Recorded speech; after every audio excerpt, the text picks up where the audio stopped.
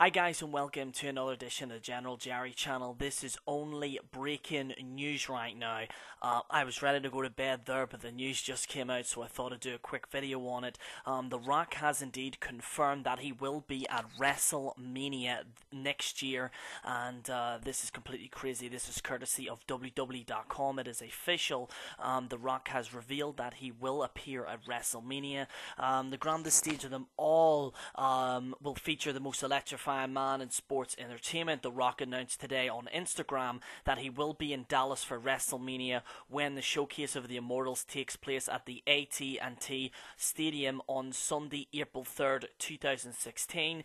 Um, we're going to be reading what he said on Instagram right now. It is official. The People's Champion is coming home to do three things to the people, set an all-time attendance record, electrify Dallas like never before, and make an all-time wrestling history and have some fun okay, it's four things, but you know what the hell The Rock's saying. Thank you, WWE Universe. It's always been an honor coming home, and I wouldn't miss it for the world. Uh, the Great One um, dropped on last year's WrestleMania held at Levi Stadium in Sa- uh, Santa Carla, um, California when he was with UFC sensation Ronda Rousey, uh, with Triple H and Stephanie McMahon. What will The Rock have in store for the WWE Universe in April? Okay, so um, this is very good news now.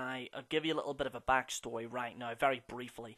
Um, reports are saying that The Rock couldn't make it because he's actually filming a Baywatch type episode or movie or something like that, and the Bay, the, the company that, that that's doing Baywatch were very nervous that he might get injured. Um, now he said there's four things which means, personally for me, if he's going to be there, I think he's going to wrestle. Um, I think that he will be facing Triple H. It's something that Triple H wanted for him and The Rock to face at WrestleMania. Um, I don't know. Um, you know, there's many things that The Rock can do. The two that springs to mind is Brock Lesnar and Triple H. They're the two things that could spring to mind.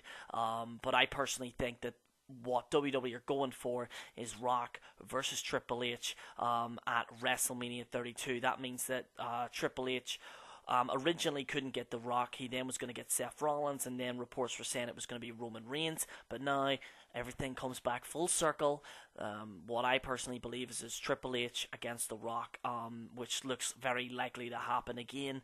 It's only speculation, but it is official that The Rock will be at WrestleMania, whether or not he's wrestling or whether he's just appearing well, we'll have to wait and see. But personally, for me, I think he's going to be wrestling. I think there's a strong possibility against him and Triple H, um, because they have been building on it with SmackDown and they kind of built it on a few things. So, yeah, ladies and gentlemen, it is official. The Rock will be at WrestleMania. They'll probably be talking about it on Raw. I will see you guys tomorrow for your Raw review, and uh, I hope you guys have a great time. We're going to be discussing more about this on a Raw review, but I thought I'd do the breaking news for people that didn't know.